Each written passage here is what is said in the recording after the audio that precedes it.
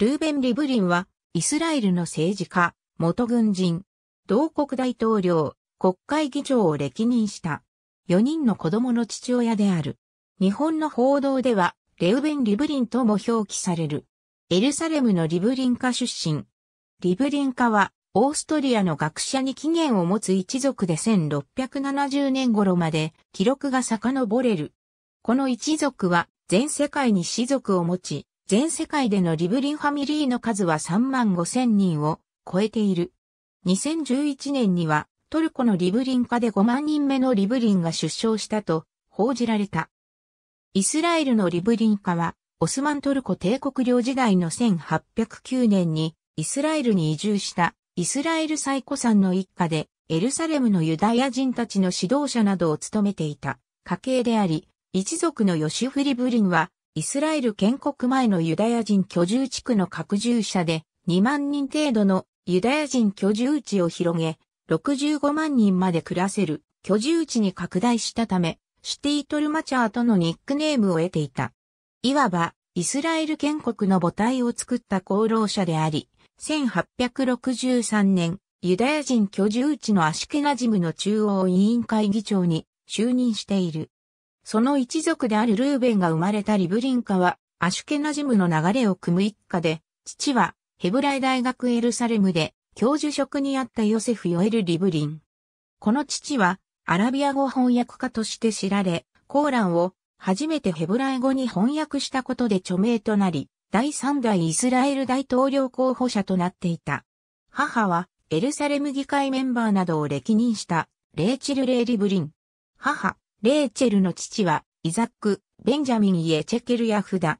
基礎収集家でニュートンの錬金術などを研究し、後に米国に渡ったアブラハム・シャロム・ヤフダ教授は母の叔父にあたる。その家系に1939年9月9日、ルーベンは生まれた。ヘブライ大学卒業後、イスラエル国防軍に入隊。諜報部隊勤務で、6日戦争では空挺部隊旅団同校長報官として前線にも出た。少佐の地位で軍務を終えると、1988年にリクードから総選挙に出馬、初当選を果たす。党内では司令塔的存在であり、強硬派の重鎮として知られ、若手議員からの人望も厚い。建国功労者に近い存在である、ヨシフリブリンが町郊外に家や土地を買い求めユダヤ人居住地区を拡大することでタウンメーカーと呼ばれたように、父ヨセフ・ヨエル・リブリンもヘルト運動と呼ばれたユダヤ人自由運動などに身を投じていた。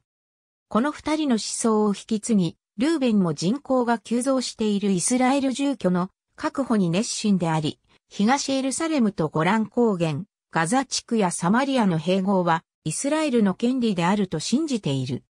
反面、少数民族の保護も重要だと考え、パレスチナ人は併合されたイスラエルの国民になり保護するべきだという主張を行っている。パレスチナ人の排除を行うイスラエル内過激派の意見は、それはイスラエルがかかった病だと一周しており、他国併合と併合地域のイスラエル国民化が正しいと考えている併合を主張するなど高派な面も見せるが、その反面テロリストや暴力による排除は嫌っており、イスラエルが言ったとされるカフルカシムの虐殺追悼式典にイスラエル大統領として初めて参列した。カリスマ的人気を誇った首相で、ガザ地区撤退計画に踏み切ったアリエル・シャロンとは関係が悪く、一期目では通信省を務めるものの、難解の兆しを見せ始めたシャロン政権、2期目の入閣要請は誇示し、国会議長に就任する。ただ、ガザ地区撤退計画においては、シャロン当閣を目指す党内の強硬派には最後まで、組みすることなく党の分裂回避に奔走する。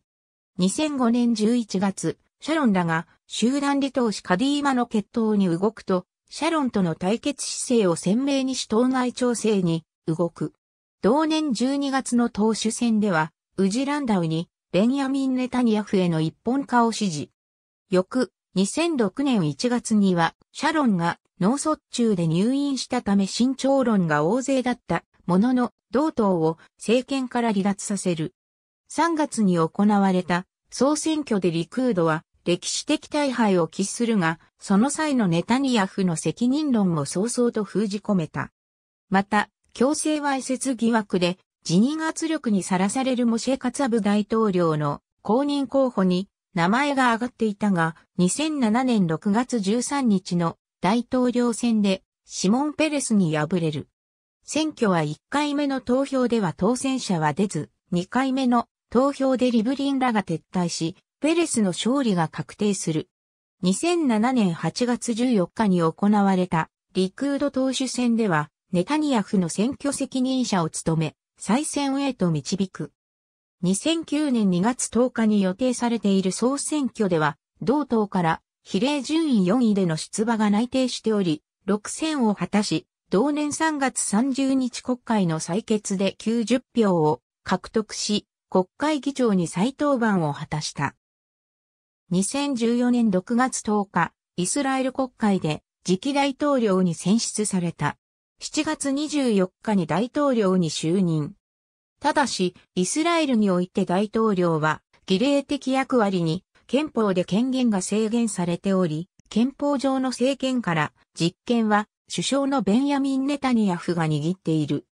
2019年6月4日に妻の姉ちゃまリボリンが長年患っていた持病の悪化で病死しており、その葬儀では日本語の侍と書かれた帽子をかぶった孫と共に悲しむ映像が配信されている。クネセット、アニマルズドントハブリーガルライツ。ハーレツ。http www.horets.com プリント、エディション、ニュース、クネセットアニマルズドンティーハブリーガルライツ1.52162011年2月13日、閲覧。ザノーブルヒストリーオブルーブンリボリン、S ファミリー matzav.com、ザオンラインボイスオブトーラージュリー。matzav.com。2019年7月14日閲覧。リボリンリ、イレクテッドクネセットスピーカーハット、イスラエル、新大統領に、リブリ前国会議長選出。毎日新聞。http 毎日 .jp、セレクト、ニュース、2014万 611K0000、メートル0301330000、CHTML2014 年6月10日閲覧。大統領夫人の葬儀。ありがとうございます。